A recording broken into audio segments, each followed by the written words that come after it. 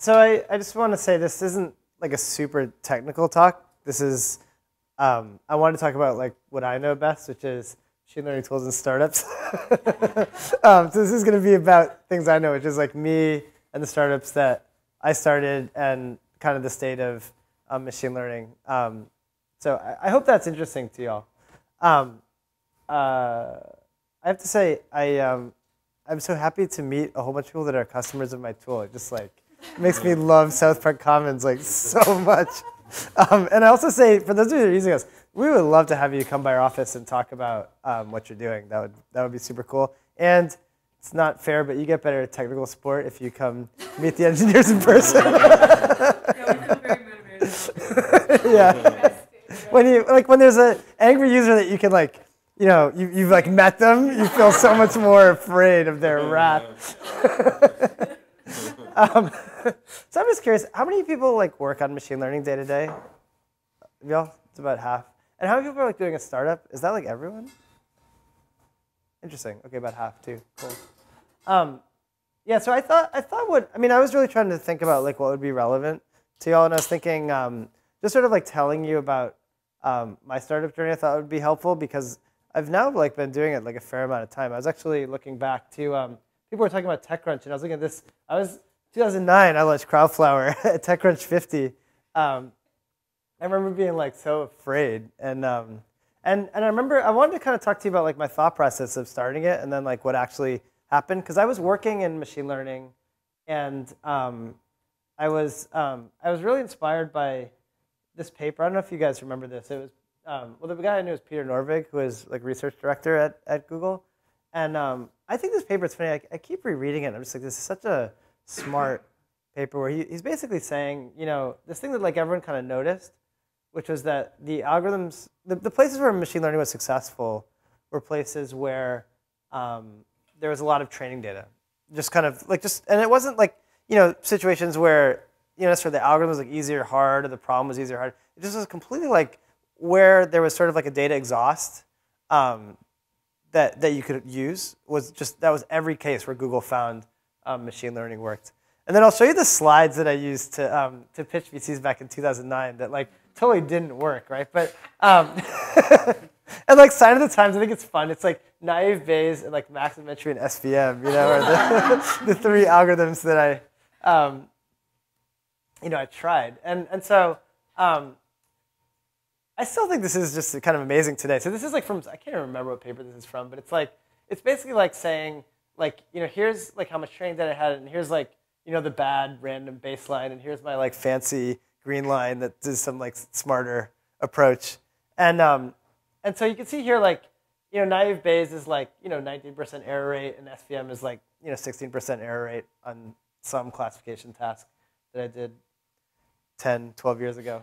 Um, and um, and you know I pointed out like okay like actually what I did back when I was working um, in 2000 you know 2007 2008 at search companies um, you know we do a lot of feature um, feature selection, and we would think a lot about like what are the right features. And on this case, you know, like unigrams, like bigrams works a little better. For some reason, the combination works even better in this in this case, um, and that does get um, an improvement. But then, you know, um, basically like every time you double your um, data size, you get maybe a bigger improvement, at least on this data set. And um, and this was not common knowledge back then. Like like people were kind of surprised to learn this. And it's kind of funny because actually, this this paper um, is actually like I mean it's it's it's like this paper is actually kind of ignoring the fact that like the x-axis here is the amount of data. So you could actually just get the fancier algorithm by like doubling your data set size. Right? Like it's and it's so funny because it's like, you know, it's, it's like if you were actually trying to like accomplish this goal, you'd almost certainly rather double your training data set size than um, that do the fancier algorithm. But like no one, no one's really paying attention to that. Um, and then there's like still this effect that I never like found a paper that did this, but basically like cleaner data, like in cases where your data is not clean, it's like it's such a powerful effect. I feel like everyone kind of knows it, and it's one of these things that like, I think it's like it's just not the right incentives to publish a paper on it. So there's not a lot of like literature on it, but I feel like everyone working in ML, um, you know, kind of knows this and feels this that like if you pull out um, the mislabeled cases, or the, the just even like the case with the high residuals, um, that can really improve your um, algorithm. So that's what that's what I noticed, and I thought. I mean, I was like an ML researcher back then, and I was like kind of looking at this, and I thought, oh, like there's like an obviously like a useful company here that like labels training data. And if I just like make it, then like certainly will be successful.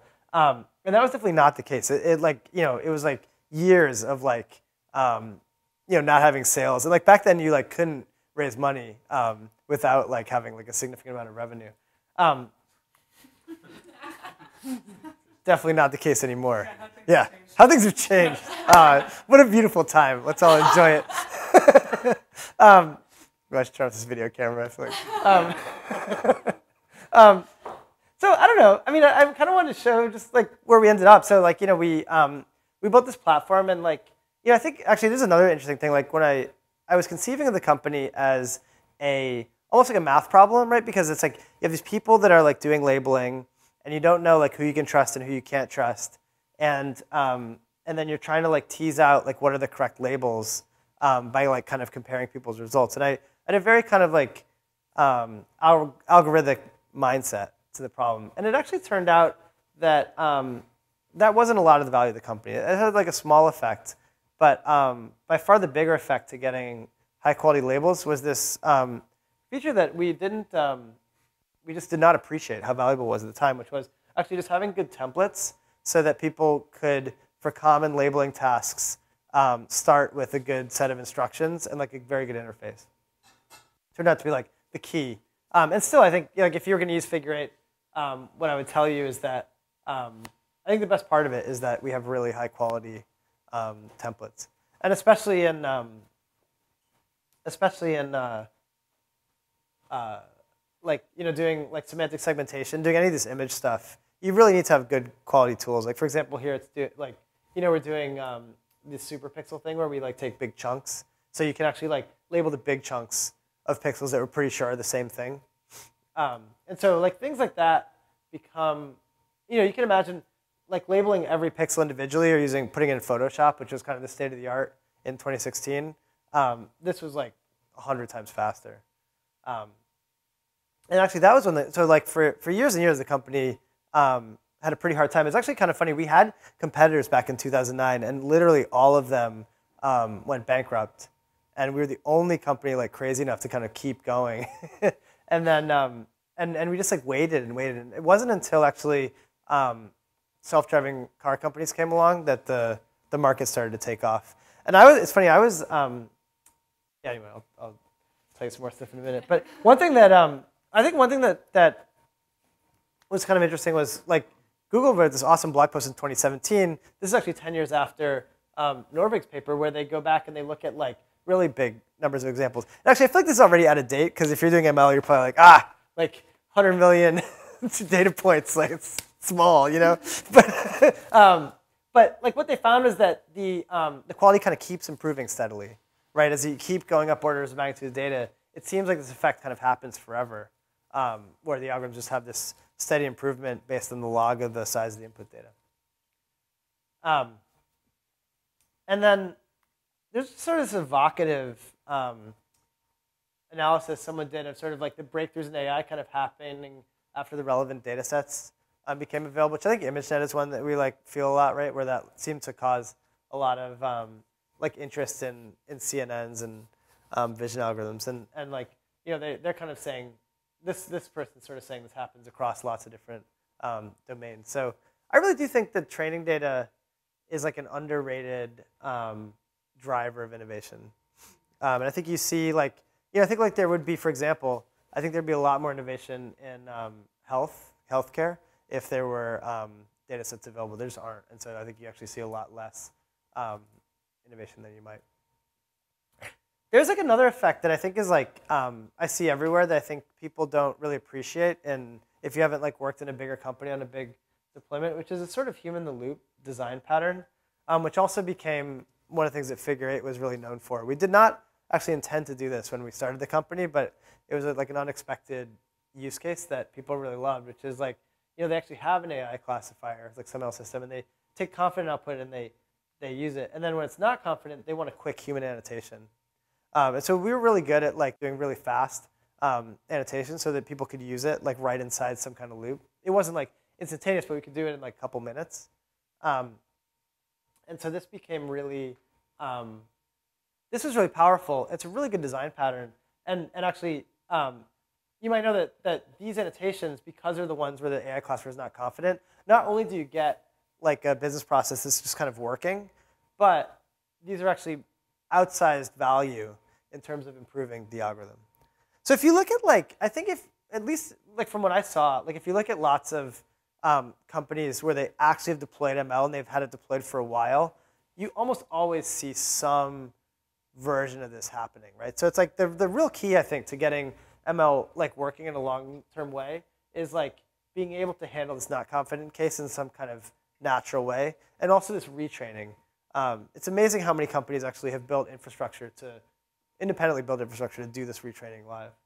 Um, there's kind of fun examples. I don't know, like I just think this postal service is a really cool example that like really does this, right? And like they actually deployed an OCR system in 1982, and but they only deployed it on like 20% of the um, the envelopes because you know there's like 20% they could actually get confidently. And I guess even now they only they run it on like 99.5%, but there's 0.5% they get a human review still. So they've been actually running this human loop design pattern for a long time. And then there's actually another crazy example um, where Coca-Cola did this incredibly, um, it's a video camera, incredibly, um, I don't know. Uh, some maybe some might say over designed um, thing where you can like, like, you know, the, the, the horrible state of the world before ML, you had to like type these letters into a computer to know if you won like a prize. And um, ML came along and you could put a camera on it and it would show you the letters mostly transcribed. and now, um, now you can save seconds to find out if you like want a free soda. Um, I think like one of the one of the cool things that they did actually they really um, they really did a whole uh, they did a whole um, post blog post the detailed blog post about how they actually did this and they actually do do a human loop system right where they're like looking at the letters where they think it might be wrong calling those red so you can go in and then correct them and then retraining um, their neural network to um, to keep improving it and I think like now we can show these um, case studies like this is a real world um, case study uh, and real world thing, right? We had like, you know, each week we had about 400,000 support tickets, and we wanted to, um, the ML team wanted to basically know which of these support tickets um, involved uh, possible drunk driving. And, um, and so the, they'd feed them into the ML model. The ML model was actually really accurate, but it wasn't 100% accurate. And they just had zero tolerance um, for any false um, negatives. And so they, they tuned it to only do 40, basically label like 40%, and they'd get the rest labeled, and then they would just they would feed that back um, into the algorithm. And you watch every week, it would get better and better. And I kind of thought um, they'd be disappointed by like a 40%, um, uh, like only being able to use it 40% of the time. But they actually were like so happy, right? Like from their perspective, they're like, wow, this is like a 40% cost savings. You know, like a huge um, budget for us. So um, I don't know. I think that that was it's sort of interesting the way that the ML team was like a little bit disappointed. The the business people were like super super happy um, with the with something like this, where it was just like you know it's like just really reliable, right? That forty percent of the time. Um, and um, and then um, it was acquired for 428 million Australian dollars. um, and um, and actually, it was kind of interesting. I don't know. A couple things were kind of intrigued me about this. So Appen was an Australian company that we hadn't really like paid attention to very carefully, um, but they had quietly. Uh, they're like a five billion dollar market cap company with with just a handful of customers, but they were like you know big tech companies right in our backyard. So they had actually gone um, at the very very top of the market and um, and sold into there. And so it was kind of it was just interesting. Like you know I think like we in Silicon Valley sometimes I think like pay attention to the other like Silicon Valley companies around us. It was kind of interesting to have a company with a very different model um, that was like very successful and ended up ended up buying us. Um, so I don't know. That was like an interesting um, an interesting ten years. Um, and then um, I spent some time in my basement. and I built this robot. I am really not good at um, building robots, but I really love to build robots. But I like decorated it. um, and I, I guess this is an impressive moment. My stuff's so out of date. I don't know. A few years ago, I was really proud that I got, um, I got an image classification model running on a Raspberry Pi. Um, and uh, so anyway, I was, I was pretty proud of myself. Um, and I was thinking, I was thinking, um, like, I was thinking about what to do next. Oh man, it gets it too. This is totally not doctored footage. the way it like like skips some time. Yeah, that's. I don't know what's going on, um, but um, so I was thinking like um, I was kind of reflecting on what I really. I think this is not a bad way to start a company. Like people ask me sort of how do you like think about like starting a company, and, and like the way I thought about it was like, well, you know, what did I like and not like about um, about Figure Eight? And I thought like, you know, the, the there's a lot of hard parts actually, but but one part I really loved was spending time with um, ML practitioners. Like and and so I felt like you know I'm just gonna like work backwards from what ML practitioners want and just try to like make something that um, they're actually gonna want. And that was actually actually all I had. Right? It wasn't like I had any idea of what it was. And I quickly kind of you know, I talked to some people and I thought, okay, this is going to be developer tools for deep learning. That's going to be the company. And I felt like a lot of people were making these like ML platforms, and, and I felt like, you know, the developers I know, none of them actually want a platform. Like the VCs I know really want to invest in an ML platform. um, but it doesn't seem like people actually want to use an ML platform. So um, I was like, you know what, I'm gonna make it. I'm gonna. It's gonna be developer tools. And I remember actually like, you know, my my friends who were VCs were all like, call it developer platform, dude. You'll get like double the valuation. Like, um, um, and so I was kind of like excited about it. Um, and then uh, this guy Clemens wrote this awesome article, um, which I thought was kind of interesting to just see an article where the person was just like the opposite um, point of view for me. Because actually, he's like the points that he's like pointing out in his article are like the opposite conclusions I reached, right? Like he's like, don't provide developers, provide solutions and um, like build a full end-to-end stack throughout the work. You know, it's like it's like literally the core like principles that I was like coming up with um, were the opposite of him, and um, and then he went and worked for. Now he's a PM at a developer tools for deep learning company. So. like not long after he wrote this article, so maybe he was trying to get people to not do it.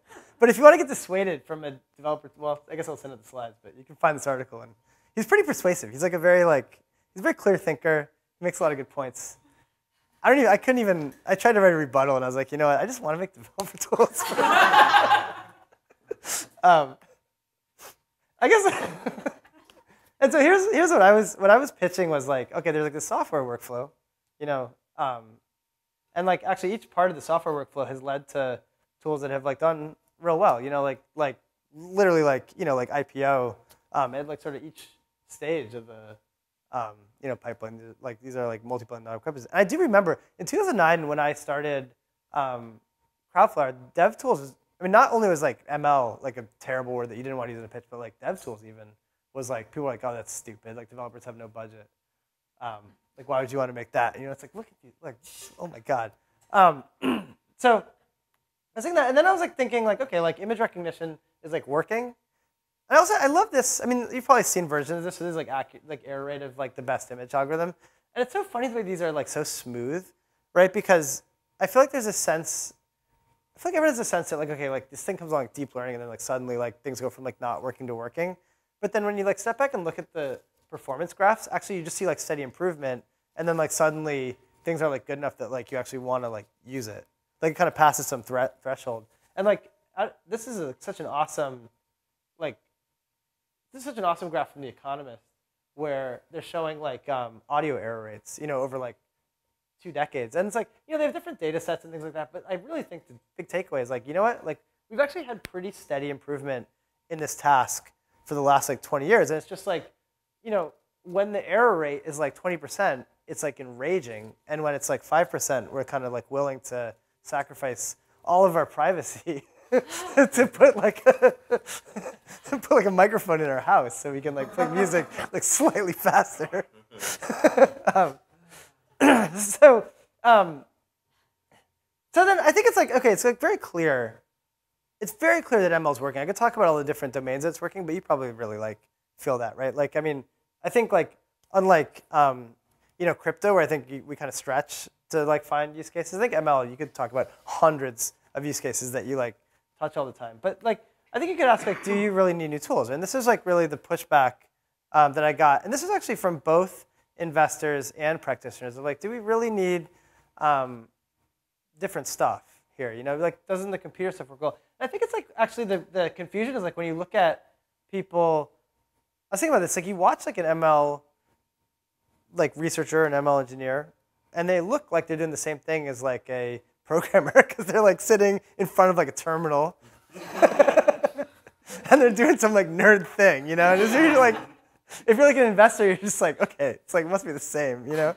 Um, and I think, I was thinking like, okay, like what is actually the difference, you know? Because um, I feel like I've done both in my life. And I think like, I think like fundamentally it's like, you're actually like, you're kind of doing this different thing where, you know, with like normal code that you write, you like, um, you kind of write it for another human and you like version it in a sane way and you kind of know what you're doing. Like you, you kind of have a plan.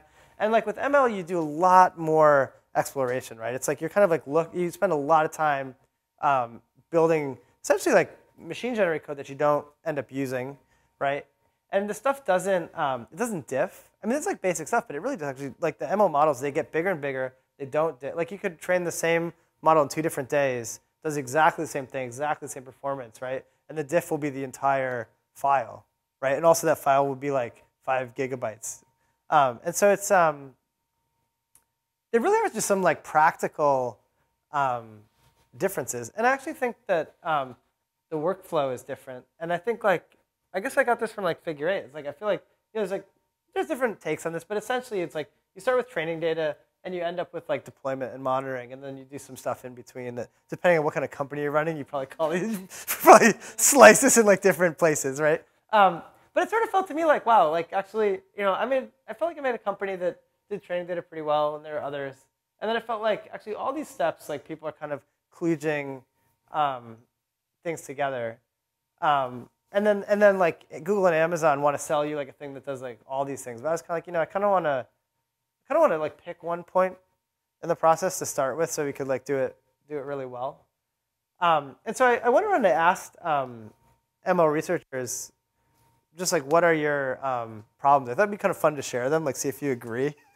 um, so sort of did that sort of basic customer discovery that probably all of you doing startups like do, where you're just like, tell me about your life, tell me, tell me what could be better. Um, and I think like one like huge one that everyone was saying was like basically the timelines are really hard to predict, right? It's kind of interesting. I, I don't think I would have put my finger on it, but I actually had experienced this. I'll just say like this was my experience of it.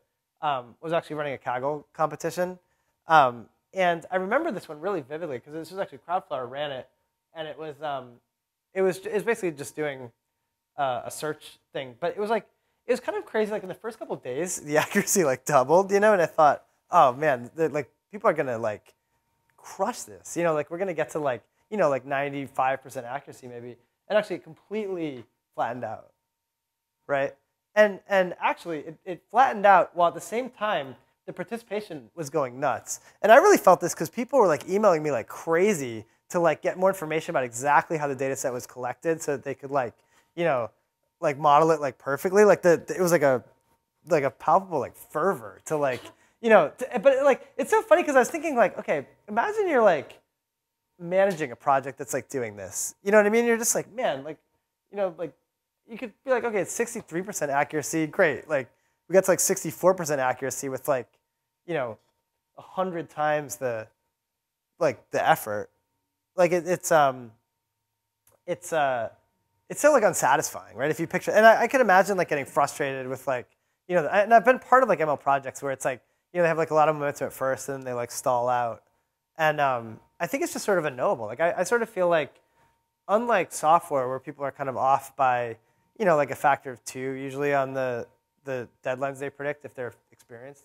Um, it seems like with with machine learning, you just really don't know and you can't even use the like past um, performance to, to predict the, the future performance. I think the best example of this is actually the Netflix prize. If you guys remember this, when Netflix offered like a million dollars um, to get an improvement, and you see like just this sort of like you know kind of plateauing and that like kind of like sort of steady, very slow, steady improvement that you get from you know that we see in like every domain.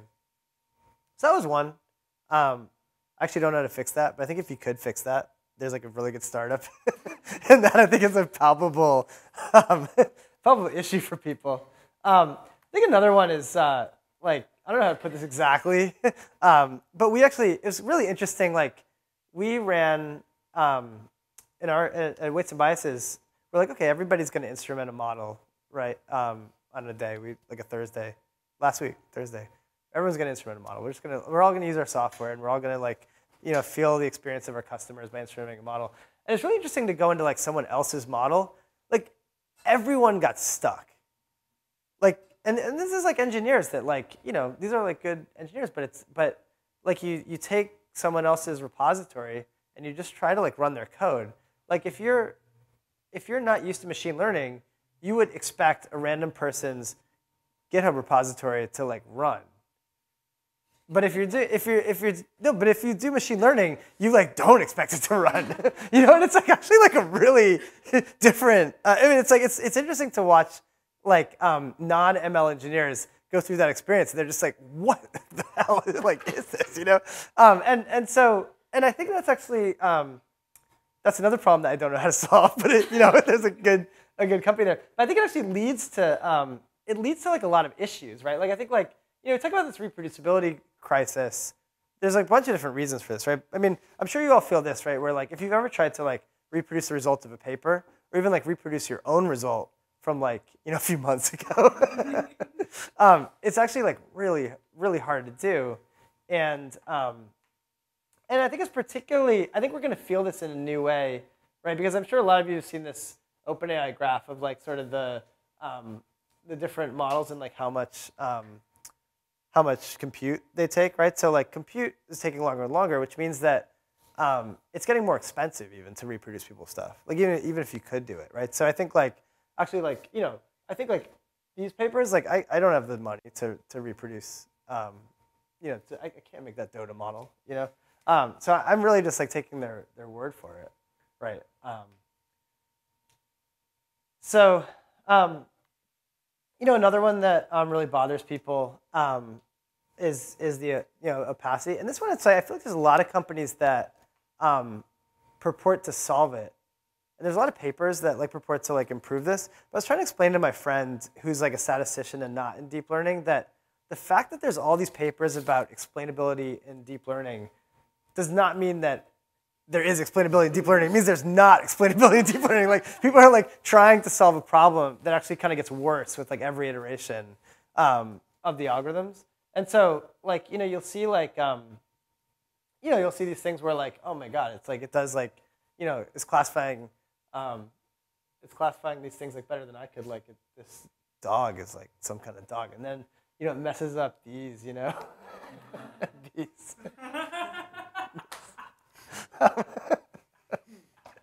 it's just like why. um, um, and then, and it's kind of funny, but it's like. Um, you know, I think like, you know, then like, you know, Tesla crashes, right? And it's like, you know, I think like you can like back into stories around these things, right? But like, you know, this one, like I think each Tesla crash actually, there's kind of a good story about somebody doing something weird that probably wasn't in their training data. Like this one was like the, the, the semi truck was like perpendicular across the highway was the first one. Um, and you know, it's like, I, I think you collect training data for, I mean, I don't know how many miles of training data you need before you have a semi that's perpendicular across the road, right? It's like, that's a rare case because that's really insane for a truck to like block the whole road, but you know they didn't have it, and it, it didn't generalize to that. And it seems like clearly they didn't want it to crash. They didn't have a good system in place to do it. Um, another place you feel it is with um, AlphaGo, right? Like, um, anybody else play Go? Yeah, sweet. Um, so I'm a huge fan of Go. I, this is like I, AlphaGo was like my favorite paper of all time. I think. Um, I really thought um, computers would not beat humans that go in my lifetime. Um, so it's funny, you know, actually, I think like ML has been disappointing in every domain except games, where it's like always like better than you think. um, and uh, anyway, the, it it uh, it was really interesting to watch in in the fourth game. It like really made a mistake. Like I remember as a kid, really like kind of important moment in my life was like watching Deep Blue beat Kasparov. Like I remember that was really amazing, and that just felt like this kind of machine that just like crushed him steadily. You know, with like no mistakes, just like just like flawless playing, maybe bad at strategy. And this was like a totally different algorithm. Right? This is like a you know reinforcement algorithm, really like a vision algorithm. Um, and uh, and so it actually kind of failed in a um, in a strange way, really different. Um, and I think that's you know that's the kind of ML that we're likely to interact with right for the next 20 years. And I don't know if you guys have seen this, but I think it's like everyone should know about it, right? It's like you know when you start to use stats for like you know recidivism, right? You really start to um, you know need to look at what the algorithms are doing, right? This is like you know black defendants risk scores and white defendants risk scores by some algorithm that they're like actually using to um, you know as, as, as evidence in court. Um, and then you see these like explainability. Have you guys seen this as explainability like systems where they like you know it's like it's so funny, right? They're trying to say like okay, which we'll blank out different parts of the image and see like which part makes it think it's a guitar and which part makes it think it's a dog. And I feel like this is like it's a funny kind of explainability because it's like you are like explaining what the neural net's doing by just like watching it. Like you're not like looking inside it. You're just literally like observing it in like different modified situations. Um, so I think that the prevalence of these kinds of approaches really shows you that I think if anything, explainability is kind of getting worse and worse, despite the fact a lot of people care about it and are working on it. Um, I also don't know how to fix this problem, but this is another so many startup problems that you could do. Um, and then I think like you know, deep learning can be vulnerable to hacking. Um, probably a lot of you have seen this, right? But like, um, you know, you can run simulations. You can use the same um, gradient descent to find like this panda that looks just like, like this panda, but the algorithm thinks is like a gibbon, right? And I think like again, these things like I think are actually going to start to. When I first saw this, I thought, that's so what? This is like a toy thing, you know, like that they can make a network you know, like they can find an image that's going to trick a network. Of course, in the infinite space of like pixels, there's going to be something. But um, I don't know. Imagine like if you could put my brain in a jar and figure out how to trick me, you'd probably find a lot of good ways to trick me. So I do think um, I do think like companies do do care about this, and it doesn't seem like this is really like solved in a, in a satisfying way. Um, and so I think what, what what we have seen in the last year or two, and this is totally different. Like when I was first um, when I was first pitching my company, um, or first pitching VCs on sort of dev tools for deep learning, lot of, there's a lot of resistance. People thought it was a bad idea, and it's like amazing that it's like really flipped in the last like year and a half. Um, and so you know what that means when like VCs start like pouring money into something, you start to see like lots of tools, right? So there are like lots and lots of tools. Like this is like Redpoint's um, diagram of like all the tool. And I think they're they like a little bit of like a stretch, but um, there are actually like lots of tools here. And I will say, if you're kind of interested in a smart VC's perspective on deep learning, I do think the woman at Redpoint that, that did this has a lot of good articles on sort of deep learning. I think you'll find, you know, I think it's interesting to see how, how investors think about this, and you'll find some good tools um, that, that, that she points out, um, including weights and biases. um, I have sort of like a simpler thing for myself. This is like incredibly self-serving, but I think like this is how I looked at it. I was like, okay, we're gonna do this evaluation step. It's like right in the middle. Um, we kind of know how to do it. We feel like we can like you know make a thing that um, that solves it. I, but I think like there's a lot of interesting space that I think is kind of under um, underexplored in sort of like the the data preparation um, stages. It's always mystified me why there's not like a really good data preparation company. It's like one of these things that everybody does. It's like so painful. Um, I couldn't tell you like a like a top of mind a good a good tool there.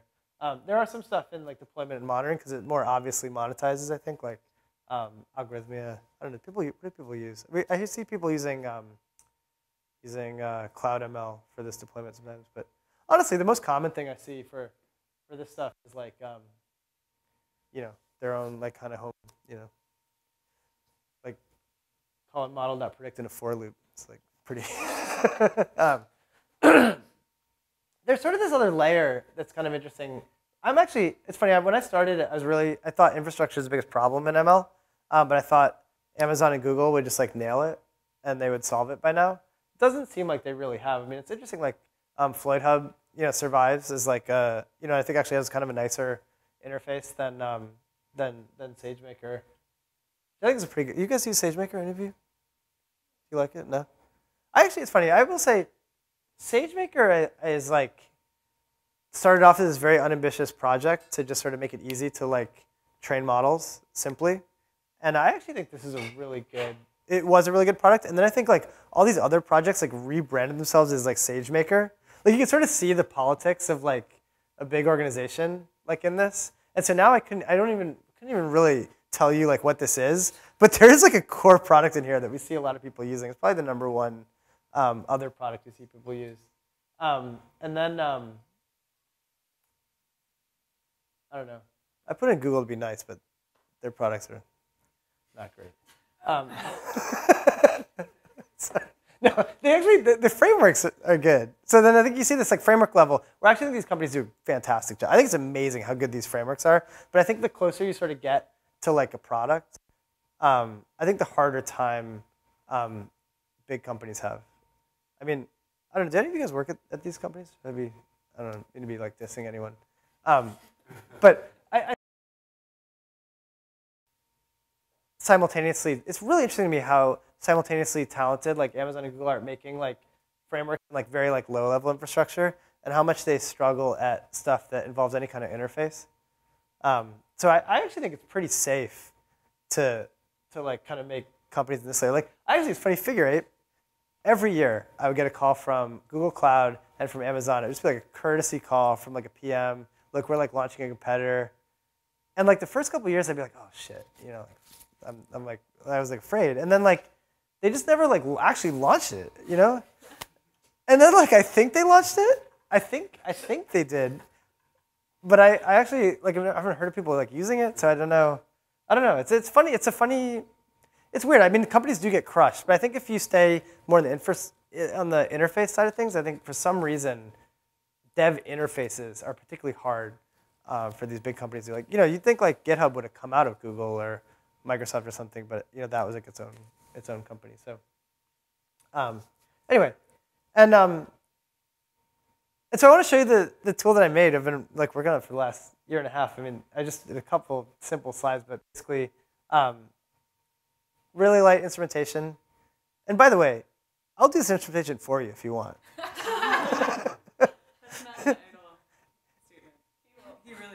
I really would love to do it for you. It would, it would like warm my heart. So just literally email me, and you can have this instrumentation for free. I'll, I'll come to you since you're here.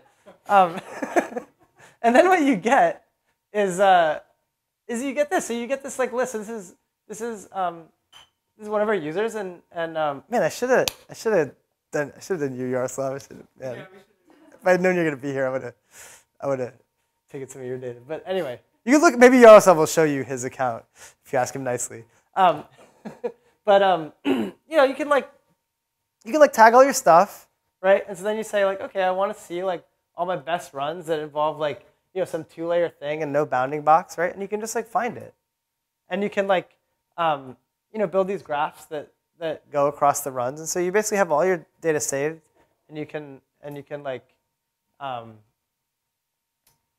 save all your data, see all your data, um, and share it with people.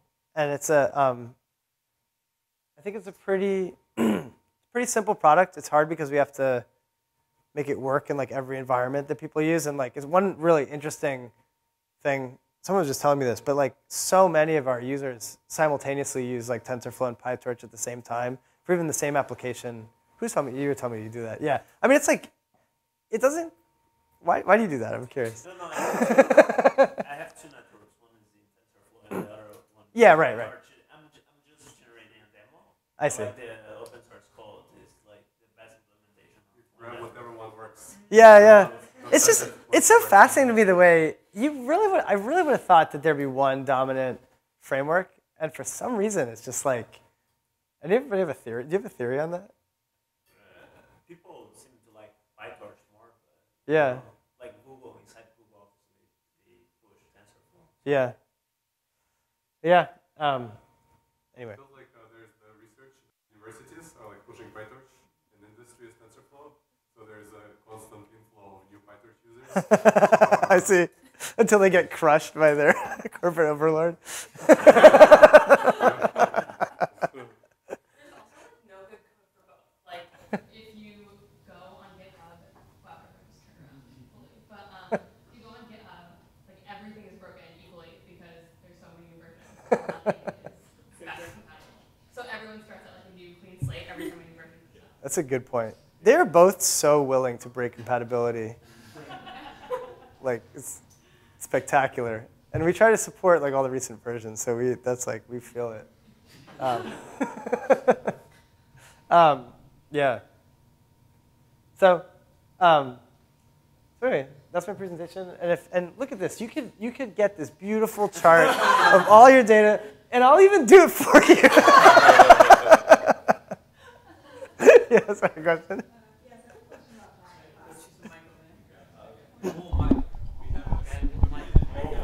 It's got the check it out. Um, okay, so I'm not like an ML or AI practitioner, so Sure.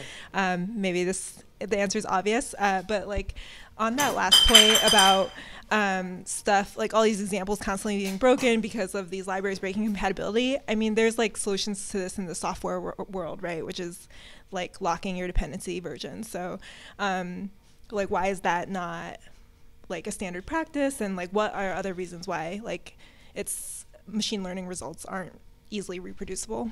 Well, I have some theories on it, but I, I would invite other people to answer. I think like one thing is that um, because like these model, I actually don't think this was as bad before deep learning. Well, it was kind of bad before deep learning for one reason, which is that grad school trains you to be a horrendous engineer because it basically it's like your goal is to write a paper, so it's like write code as fast as you can that's going to get thrown away, and then you like stop, right? So that's like it's just like you never deal with the bugs, you never deal with users. You basically just learn to like, I mean, like I don't know, like when I, I remember like my first job, my my co-founder actually was just like, oh my god, like I just like. like, I cannot believe how bad your code is. Um, so I think, but I think that's actually slightly getting better. But I think the real thing is that um, is that I think when when you switch from a CPU to a GPU, when you change this, like you're basically like breaking the lowest abstraction, and so then like all the stuff on top of it breaks. So like you have all these versions that like need to line up, and I think like it probably drives like TensorFlow crazy trying to like match cuDNN versions, and a lot of them like don't match, right? And then like the cuDNN versions need to match the like CUDA version, which needs to match the GPU version.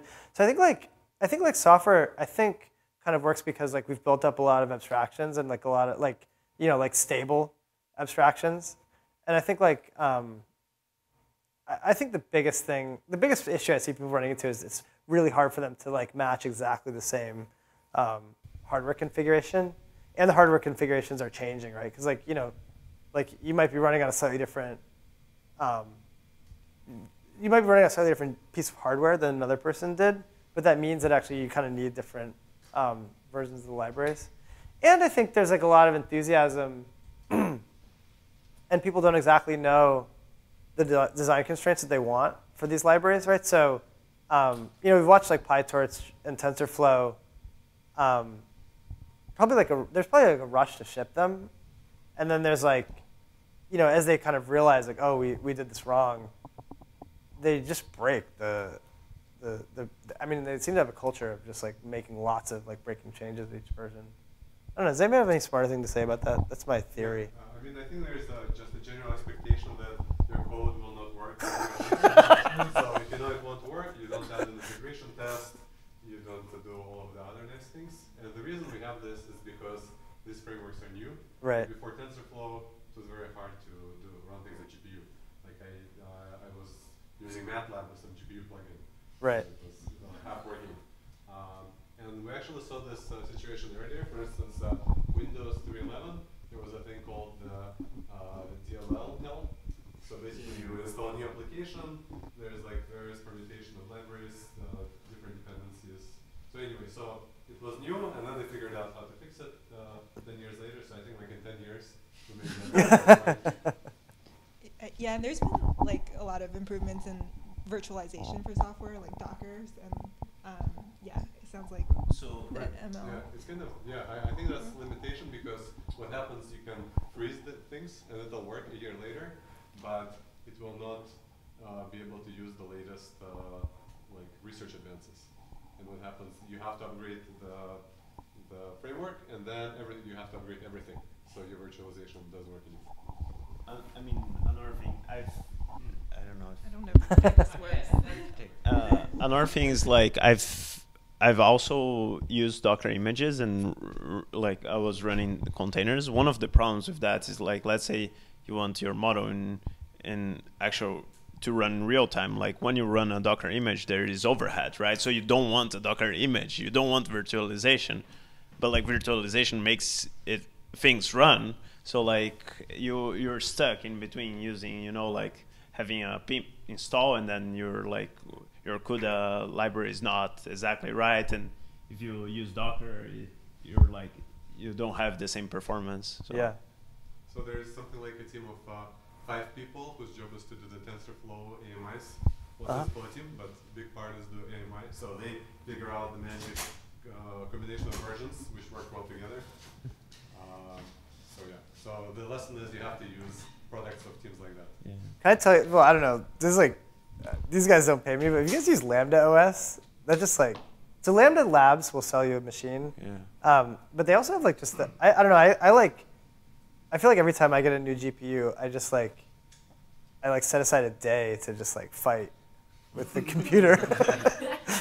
and then I, I like, I installed like the Lambda OS out of just like desperation. And it just like, man, it just like worked. I couldn't believe it. Um, I don't know. So, I don't know. Anyway.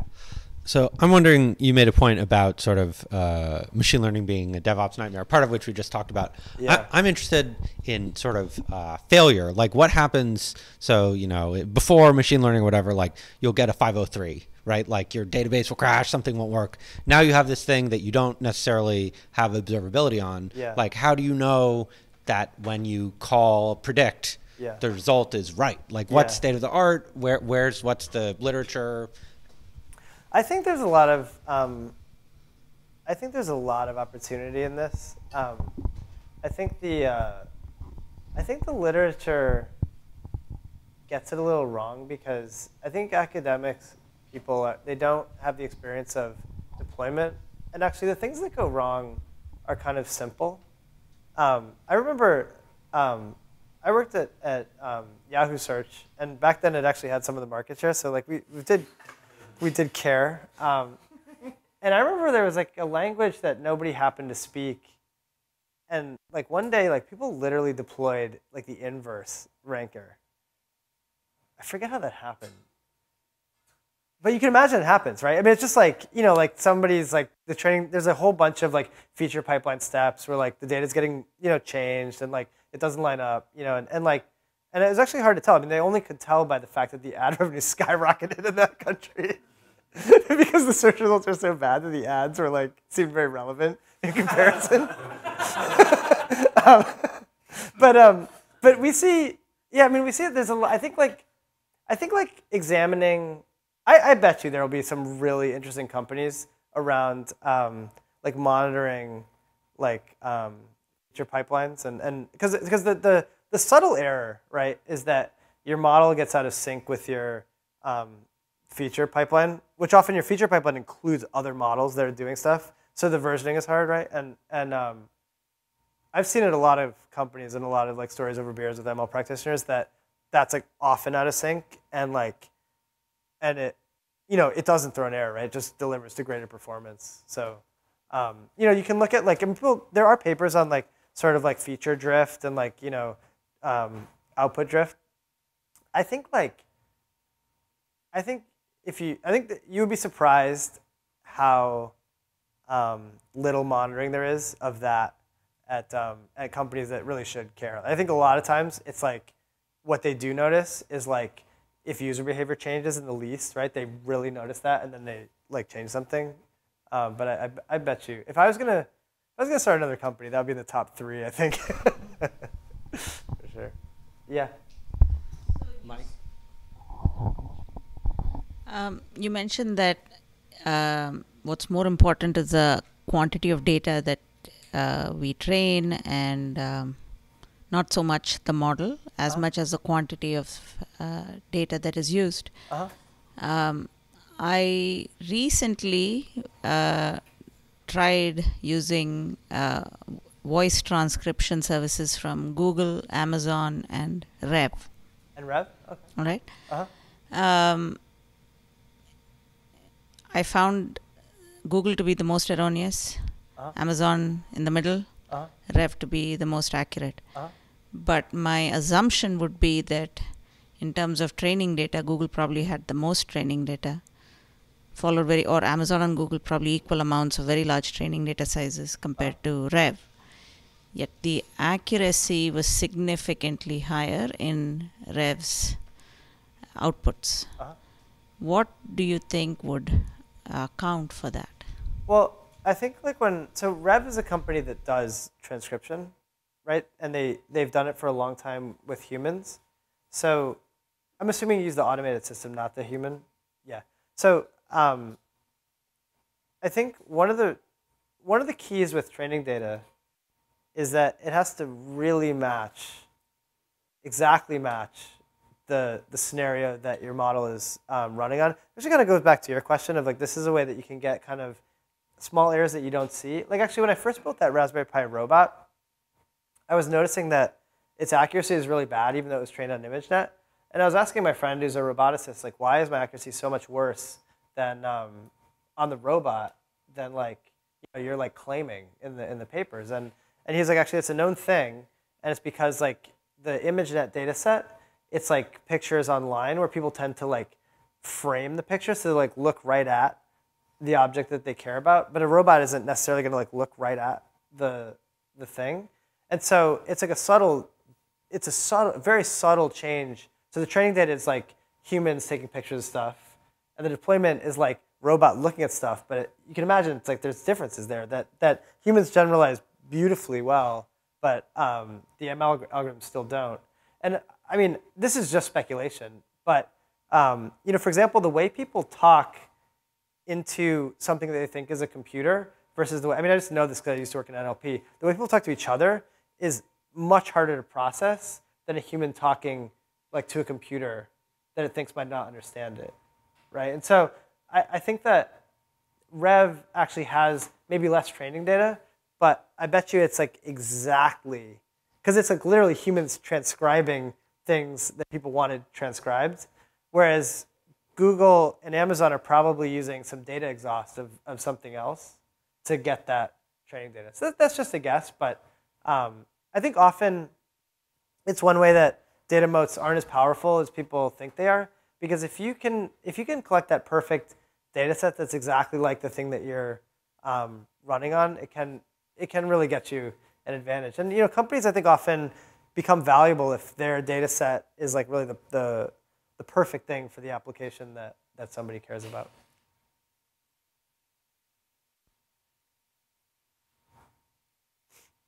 I remember when Rev was just starting. I'm happy to hear that their uh, their service is good. you should write a little blog post. They would. I, mean, I know they would. They would love you forever if you did that. Do you guys have competitors? We, we, we have some competitors, but they're terrible. I wouldn't even want to. I wouldn't want to tell you about them because it would just, you know, they'd probably like steal your data and format your hard drive.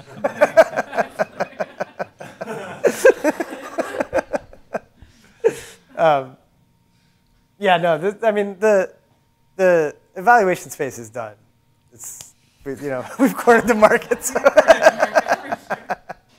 um, yeah, there's, I don't know. There's, there's a company, uh, Comet ML, that's um, very similar, and then there's like company Neptune that's been uh, that's a little more like kind of focused on collaboration. They used to do like ML platform. Yeah, yeah. We see. Well, actually, it's funny. Like um, a lot of companies.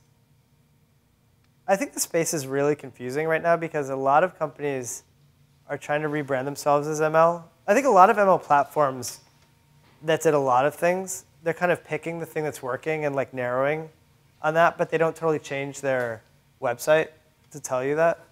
and then a lot of companies that were doing something sort of tangential to ML, like for example, like you know SigOpt did um, like optimization. I think mostly for like um, like hedge funds and sort of like numerical processing scenarios. And I think they realized that deep learning is a great use case for them. So now they do like a lot of ML stuff. Um, but I think it'd be it'd be hard to figure out what they do if you looked at their website. So I think in in in like settled markets where everyone sort of agrees what the categories are, it's really easy to figure out what companies do. But in like nascent markets like this, where like a lot of companies' um, assets come from like investors, so I think a lot of times a website is actually like collateral for an investor, like not for you as a as a customer. It can be like pretty confusing. I, I mean, I personally find it like people are always like, oh man, like saw this like ML company, like what do they do, you know? And I'll even like pull up the website and I'm like, man, I, I'm like pretty close to their target audience, and like I can't figure out what they do. So I hope our website isn't like that. Tell me if tell me if you get confused. We try to be clear. Take a look and give me feedback. Yeah. So I had a question about uh, Yeah. Your previous example about how AlphaGo and you know Uh-huh. basically different iterations of it, AlphaZero and others, Yeah, yeah. are basically improving the games world. Uh-huh. Uh, do you see uh, that translating into real world uh, ML applications? Uh, the reason I'm asking this is so particularly if you look at AlphaGo or like the game of Go, Yeah. it has a fairly uh, limited state space. Like there's a board game, Uh-huh. but it has a fairly long action space. Uh-huh. Uh, unlike let's say self-driving cars where Yep. your action space is very limited you just steer or brake or throttle Yeah. versus your state space is like really uh, chaotic and big Uh-huh. so and increasingly that's becoming a challenge like uh, ml researchers are primarily working on virtual worlds uh, Uh-huh. let's say alphastar which is the more recent uh, Yeah. deepmind uh, game so i don't know how to solve that uh, like is there a good direction that you see happening in ml research for that Well, I think like um, I mean, okay, so like obviously like AlphaGo hasn't like immediately translated into people using reinforcement learning all over the place successfully, right? So I mean, I think like I think AlphaGo is a really like impressive achievement that we shouldn't discount, but you know the the techniques they used like you know didn't it it, it doesn't like obviously apply um, to the, the real world, like like lots of advances, right, in in, um, in technology. I do think like um, there is a trend that I find like really intriguing, which is um, when um, when people can build realistic simulators. Um, you know, you start to be able to use these like same techniques, right? Because then you can sort of um, generate like infinite amounts of data, and you know more about the world because you simulated it, right? So you know, if your simulation is realistic enough, um, and, I, and I think like, um, I mean, I think like, it's it's funny to watch. I mean, I think the robotics is really interesting example where, um, like, the things that roboticists find impressive are like so unbelievably like, unimpressive. You know what I mean? Like, like I realize they're like impressive to me, but it's like, oh man, like you could like, you know, you could pick up this podium like one out of three times without like knocking it over. Like, you know, like like a two year old could do that, right? Um, so, but I think, but still, I think actually it seems like the most promising direction, or one of the really promising directions in that is like, you know, simulating the world. And even simulation isn't perfect. People have found that you can take these simulated worlds and then like unleash a robot in the real world trained on that, and, and it has good properties. So I think like if if the simulation technology gets good enough, and if that turns out to be a good direction, I think we'll we maybe will say that the start of it was was the AlphaGo success. It's also I don't know if you guys have, have you guys been watching Alpha Chess. This is actually I think this is a fun fact. So like um, you know chess playing after Deep Blue got incredibly conservative and like basically because Deep Blue really was good at counting the pieces, like would never sacrifice material, didn't care about the position. Um, chess players started to do that. So like over the last 20 years, chess players have become very, very like non-strategic, like just very tactical. And it turns out that was actually the wrong direction. So they took, so um, it was just an artifact of like a very deep um, uh, search algorithm, right? So now actually the, the alpha chess algorithm plays this like really like wild kind of swashbuckling style of chess that would have been like, you know, humans would have done like the 60s and 70s, right? It's like, it plays like a maniac, like sacrificing like pieces and, and winning. And actually like, it's crazy, like immediately like humans have like flipped to like to follow that. So now we're like just clearly chasing the um, the algorithms in, in games. So I don't know.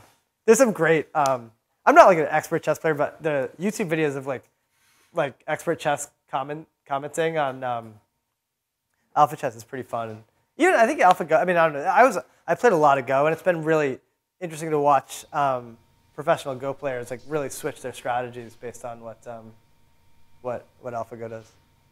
So I don't know. I mean, it's, it's definitely not like saving the world, but it's it's interesting. Yeah. Yes. Yeah.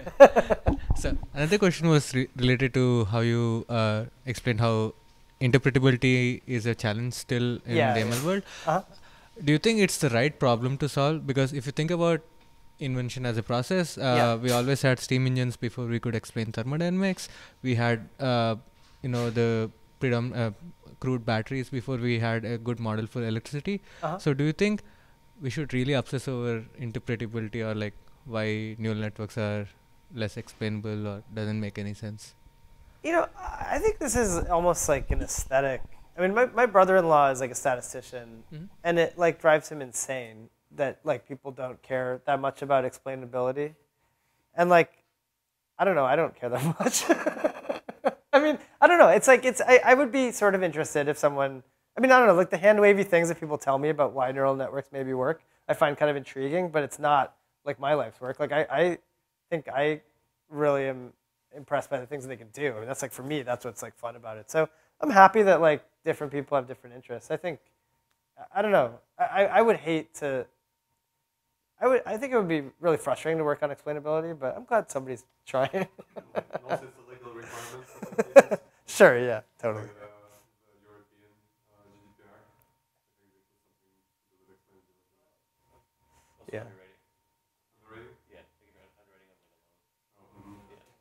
Yeah, so I mean, actually, like, or, or I mean, there's a lot of stuff in the U.S. Like, you can't, like, you know, the credit score, you have to, have, like, that has to be, like, you can't just be like, my crazy algorithm that's, like, definitely not, like, biased said you don't get credit. Yeah.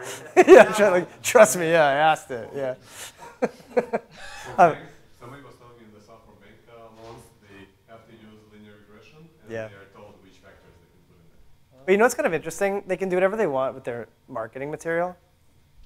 This is kind of an interesting thing. Didn't Facebook get in trouble for that? Like, there have been lawsuits about how they, I think it's like people with ad, with job targeting. So like. they- Yeah, they right, can't right. age, uh, by age or by gender. Yeah. Yeah, I'm like talking in front of a video camera on a touchy subject I don't totally know about. So, yeah. So you mentioned all this, you know, like steps of the like, machine learning, you know, like pipeline from training, collecting training data up to, you know, like monitoring the Uh-huh. system in production. And you have Yeah. this data processing that you mentioned, no, like no companies are working on. Yeah, yeah. Be a bit more specific what you mean by data processing. Like how is it different from gathering the training data and how is it different from actually training? Sure. I mean, I think there's almost always a step between the training data that you have and like what you feed into your algorithm.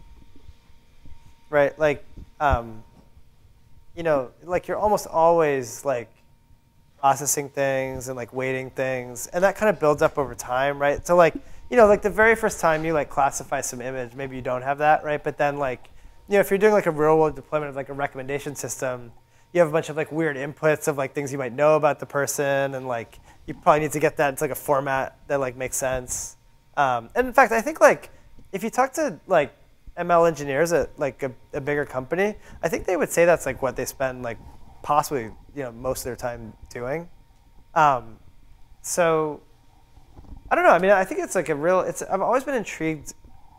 Maybe in ten years I'll do I'll do that company, but I, I feel like it always seems like there's an opportunity for the amount of like complaining that you hear like ML engineers do about that like data kind of munging step, like how few interesting tools there are. I don't know. Yeah. Yeah, yeah, totally, totally. Yeah. Do you see more? Um, thank you.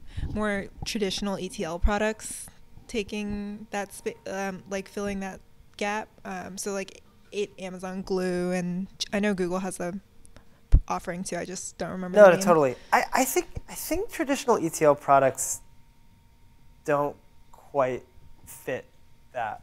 I I think their goal. I think that that like, I think actually like. Well, I don't know. I mean, I may be wrong. I mean, uh, but I'm not like an expert on this space. But I think like when I look at like more traditional ETL products, um, I think they're kind of designed and like imagining a world where it's like we have to like transform this data in a way that's like very auditable and like it's always going to happen the same way because like you know we have like you know some like important like financial report that's like coming from you know this this data and so they they're very like um, careful and rigid and i think that's actually why even though these are often good powerful tools i think a lot of people in ml end up building their own ad hoc ETL stuff because those tools are too verbose and rigid for them. And what they want, like what they really want is to like be able to experiment for a long time and then get their experiments into kind of like a reliable form. And like, I mean, just an example. I mean, do you guys realize like, I mean, Netflix is like public about this, right? Like their like ETL system is like Jupyter notebooks. I mean, that's like, that, that sort of shows that it's like a different, at least for Netflix, it's a different set of design criteria than um, you know your traditional ETL situation. So I actually did a startup based on this, and our learning um, if you start breaking things down that people are doing in that pre-processing step, there's like categories of things that people are doing, like standardizing, normalizing, or for images, they're doing certain things. But within that, there's so much uh, customization that the complexity grows so fast that it's hard for a tool like Lukas said, like to capture the exact thing that people want to do, and then it's just easier to write scripts. So if some, unless someone can figure that out, it's really hard. So we can always ask more questions later, but yeah, let's have a round of applause. Thanks.